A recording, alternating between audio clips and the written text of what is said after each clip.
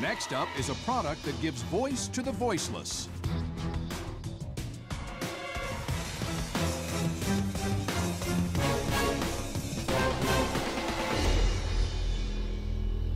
Hi, Sharks. My name is Princess Michelle Winowich from Bloomfield Hills, Michigan. I am the proud founder of GOAT Pet Products.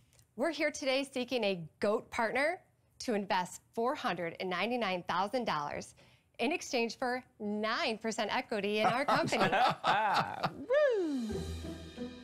Pet lovers have all shared the dream of wishing their pets could talk, just like in fairy tales. Now, what if I told you that I had the power to give your pet a voice? Meet Axel, a retired canine hero that can speak. Isn't that right, Axel? That's right, Princess Michelle. Canine Axel reporting for duty. What? Sharks, I'm not really a princess. And Axel here isn't really a magical talking dog. He's the proud owner of our GOAT Pet Speaker and our one of a kind app that gives you the ability to interact with your pet like never before. You're so right, Michelle. But in addition to giving me a voice, the GOAT Pet Speaker does so much more. Like, I'll take it from here, Axel, but thank you. Not only does the GOAT Pet Speaker give your pet a voice, you can also stream your favorite tunes out on walks. What?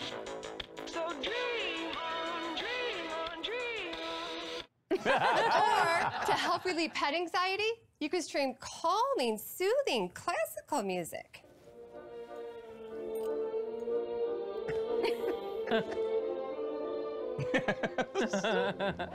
and with the built-in selfie remote button right on the bottom of the speaker, now you can be in the picture with your best friend.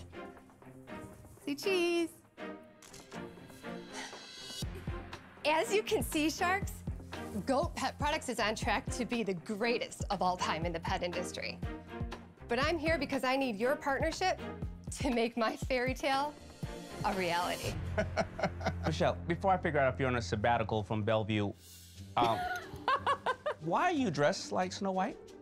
Snow White always talked to animals, and they never had the ability to talk back. Have you talked to Snow White or the animals to find that out? It's in the fairy tale. It's in the fairy tale. Michelle, is there a reason you would have spent time making this product? What's the what what made you So can I pass do- out some samples? Can I have you take a Absolutely, look at it? Wow, what a beautiful dog. Our retail packaging. Thank you. And I did bring an extra treat for Mr. Wonderful. I get the poison apple. He's not going to rip us to shreds if we don't do a deal, is he?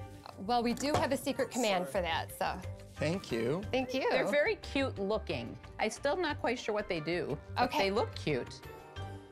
So basically, the app lets